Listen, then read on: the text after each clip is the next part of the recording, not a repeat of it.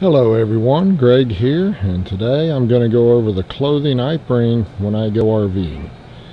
Uh, you're going to want to bring uh, what matches your needs for the conditions, but I RV uh, six months out of the year or so, a little more, and from cool to semi-cold weather to really hot weather, and this clothing works for me. Uh, if you cold weather camp, dry camp, uh, you might need some warmer stuff, but let's get started. So I'm to start with uh, hats. I don't have a lot of hair. I was blessed to have short hair.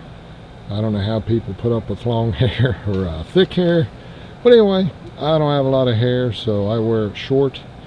And I wear hats to keep the sun off so I don't get a skin cancer later. So I'll start out with uh, my favorite hat is the Tilley hat. You can get them in different colors and sizes. And I really like it. It's, it's a little heavier than it looks. It's pretty lightweight. It will keep you pretty cool, but it does uh, get a little warm in the hottest uh, humid weather. But that's what I wear most of the time. If it's raining and cooler, then I wear this Outdoor Research Gore-Tex hat. And I haven't had to wear it a lot. Uh, it's felt lined though, so it's warm, much warmer than it looks. A little harder to wear in warm weather. I think it started in uh, out in Oregon, the Pacific Northwest, where it's much cooler. So it's a, it's a little warm at times, but uh, it works. Uh, the other hat I wear next to the Tilley hat the most is just this North Face nylon hat, uh, ball cap style, very lightweight really like it. Uh, I've tried to find it since. Haven't been able to find it lately. I don't really need a replacement but I hope they still make them because I really like it.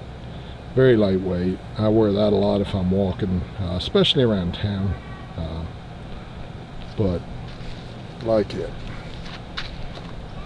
As for socks uh, we'll go over I'll do another video on footwear.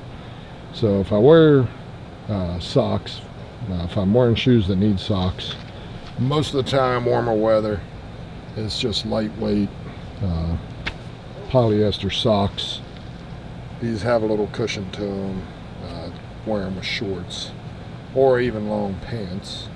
Rarely wear longer socks now unless it's cooler weather and I'm wearing wool socks. Now these are uh, wool, uh, darn tough brand. I've got other brands, REI, uh, Smart Wool. These I'm really liking right now. These are my favorite. Uh, they fit well. They seem to wear really well. I've put a lot of miles on them at the park in my hiking boots. And they seem to be holding up. And they have a lifetime warranty.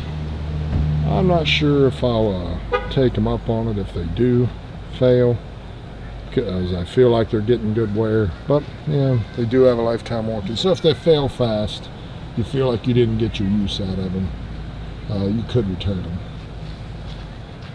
Uh, the other thing I wear a lot of, just a polyester t-shirt. This is a basic one I get from Academy Sports. Um, BCG brand.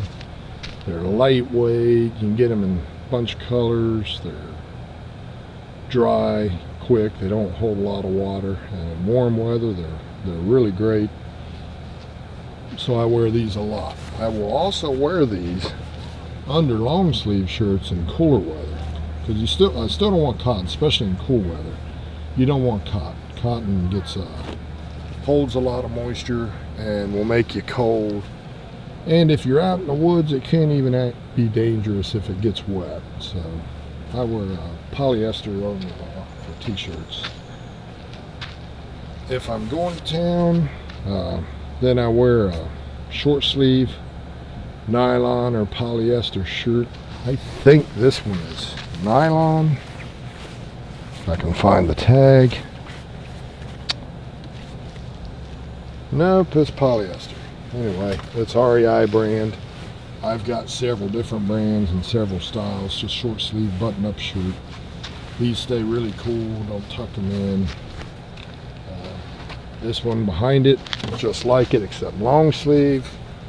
Again, polyester, breathable, lightweight. And this coupled with the uh, polyester t-shirt will keep you plenty warm and not absorb moisture so it'll rip away sweat and dry quickly. If you're going more casual, going hiking or whatever, uh, you can wear something like this. I picked this up at Sears. I don't even remember the brand. Uh, Nordic Track, like the exercise equipment. Polyester. Uh, it's fairly heavyweight, kind of like uh, long johns, I guess. But I wear this with the uh, polyester t-shirt under it. And if you're active, it'll keep you warm in uh, surprisingly cool conditions. Throw a jacket over it if you need to. And lastly, as an outer layer, which I should do, I'll follow up a video at some point with outerwear. But this is an Eddie Bauer fleece. Catch these on sale for 16, 17 bucks at the outlets. And what I like about this, this is one's lightweight. It's about half the weight of a normal fleece. Now I have the normal fleece for colder weather, but this one's about half. You wear this over your other clothing and it's more than enough in a lot of conditions especially if you're active uh, and anything less than uh, more than freezing weather because if you're active you'll get too hot. So you can throw this on it'll really keep you warm. It doesn't cut the wind. You can put a shell on to cut the wind if you need to but I really like it and lastly for uh, pants I wear the uh, nylon convertible zip off pants so there's a zipper here just above the knee. Uh, I can wear these. I wear these in sub-freezing weather because if you're active, they're fine. They will let wind through. If you're in windy weather, the wind will get through. So you can wear some uh, long johns under them if you need to, which I haven't had to do a lot. But I wear these. I don't even wear jeans or anything heavy like that anymore. They're just uh, too heavy. I live near Atlanta it gets too hot and humid uh, for jeans most of the year. So I've switched to these. These really breathe. They stay cool. Uh, they'll stay warm in the winter if you're active. Like I said, I hike in them in, in uh, below freezing weather, and I don't even wear anything under them. If you're moving, you'll be plenty warm. Now they're not the sturdiest, sturdiest of clothing.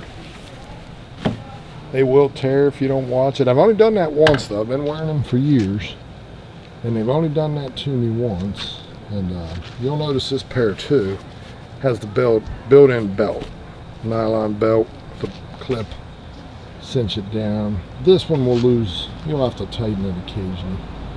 But uh, I'm wearing a, another pair right now as I do this video that's zipped off to shorts. So this is the clothing I wear. I didn't go over underwear. Uh, I do wear nylon underwear. I won't make you look at that. Uh, but anyway, it's ex officio brand. Uh, there are other brands, Under Armour and what whatever. But they're nylon, very lightweight. If you ever switch to them, you'll never want to go back to cotton or even the cotton poly blend. These are thin and lightweight, don't hold moisture, dry fast, very comfortable. So I got into those when I was riding my motorcycle, uh, traveling in it and I, I love them so I wear them anytime I go out camping or hiking or whatever uh, but that's it for clothing. I need to do one on outerwear but I don't have all the stuff I need. It's you know 80 degrees here and I didn't bring it all. But I may follow up an outerwear video later. But for clothing uh, this what I showed you is pretty much covers me for RVing season and really covers me for most of the year short of the outerwear. So if you like this video, uh, give it a thumbs up and please like and subscribe.